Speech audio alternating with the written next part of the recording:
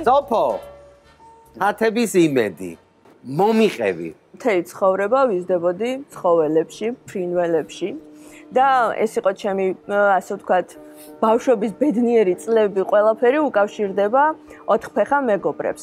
მთელი ცხოვრება სახლში მომყავდა მიუსაფარი ცხოველები, რომელსაც ვბანდი და სხვათა შორის მე ვახერხებდით ხოლმე რომ დაგვებინავებინა სოფელში ვიღაცებს ჩუქნიდით და ასე შემდეგ. მაგრამ როდესაც მიუხვდი რას უკავშირდება და რად უჯდებათ ცხოველებს თავის გადარჩენა, გადავწყვიტე რომ უნდა დავხმარებოდი. ერთი ძალიან ცნობილი ვეტერინარი იყო, რომელიც სამწუხაროდ დღეს ცოცხალი აღარ არის, ის მასთან რომ მივდიოდი, ის გვასწავლიდა ხოლმე, რომ ესეთი ახალდაბადებული ლეკვები და კნუტები უნდა გამოგვეყვება თხის რძით.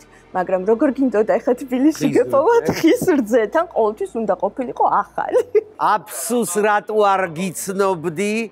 მე მე ეზო მაგდა თხები მყავდა. ვიცი, თქვენ რა ცხოველიც ყოლიათ, ყველაფერი ვიცი, იმიტომ რომ TikTok-ზე მყევხართ გამოწერილი და ძალიან მიყვარხართ. ერთი ამბავი არიცით. ოდესღაც ცხოვრობდი მუხიანში და ახალი გაშენებული იყო მუხიან და ე ჩემი корпуსი იყო ერთ-ერთი ნაგავსაყრელის პირას. ჩამოვდიოდი, უნდა გამომევლო ეს ნაგავსაყრელი და პატარა ლეკვები. ულამაზესები. ამყავდა ეს ლეკვები. ბანდი კარგად და ფენით უშრობდი უკუღმა თმას. რო აფუებულიყო, ναι. აფუებულიყო. თან ეს თმები აი ესე ქონდათ. კი. ჩამყავდა მეტროსთან და ყიდდი ხუთლარ. და გიქრათ. ანგლისკი პოს. მე დავარქვი, მსგავსი ჯიში არა. და ყველაზე მაგარი რა იყო, იცი?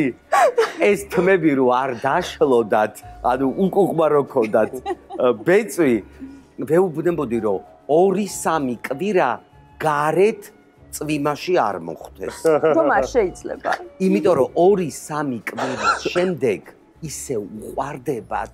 კი. რაც და აესე აესე მეტისები ვასაღე და ვასაღე. სადგიში გაიმეორე თუ ანგლისკი პოს. ინგლისური პოსი. ინგლისური პოსი. მაგრამ ნახე აი ანგლისკი პოს რო ვამბობდი აი რაღაცა გამაჯერებელი ყველაფერი შეფუთვა ხო.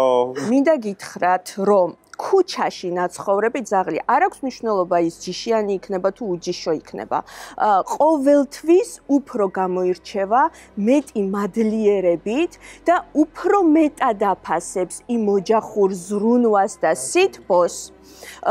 ვიდრე ის ცხოველები, რომლებსაც არ უნახიათ ის სიმწარე, რასაც ნიშნავს, რომ ქშია, ქცივა, ერთი გამხმარი ლუკმა პურის გენატრება და ამის ნაცვლად იღებ წიხლს. ეს სამწუხაროდ ყოველ ძალიან სევდიან რაღაცებს ვამბობ, მაგრამ ყოველდღიურობა დღესაც.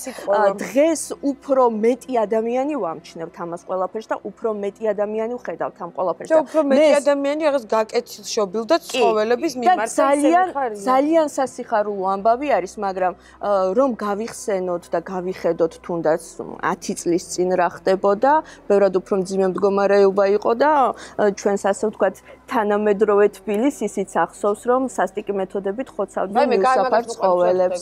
მაგრამ დღეს საბედნიეროდ ასე არ არის. ყოველთვის ვცდილობ რომ თითოეული სიუჟეტი დავამთავრო ბედნიერად და იმედის მომცემად, იმიტომ რომ ბევრისთვის იყოს მაგალითი არა ჩემი საქციელი, არა, მაგალითი იმის, რომ თუ არ გვიყვარს და რა თქმა უნდა სიყვარულს ვერავის ვერ დაავალდებულებ, არაფერი არ დავუშავოთ და აი ესეთი სევდიანი ისტორიები ყოველთვის შეიძლება ჩვენი მინიმალური მონაწილეობით ძალიან ბედნიერად დავასრულოთ. აი მე მე იმდენ მოვეფერეთ ახლა ამ ფაშხაჟოს. მოდი თიმთან, მოდი, მოდი. ეს არის ესპანური კარტია. ლილი. ეხა შეეშინდე. არ შეეშინდება. სახე ხელზე ასული ეს არის ყოფილი გაცნობა. აი მე აიმე ეს რა დღესია ორჯერ ჩაეძინა და ორჯერ გამოფხიზლდა ეს მიჩვეულია იმიტომ რომ ფაქტიურად ჩემი თანაწამყვანია ხოლმე ხშირად. აი თათების იმედი. თათების იმედი. მოკლედ ჩემო ძვირფასებო მე არ დამვიწყებია იმედის დილის და დღის ჟურნალისტები. მე მათთან მივედი და ახლა ნახეთ სიუჟეტი.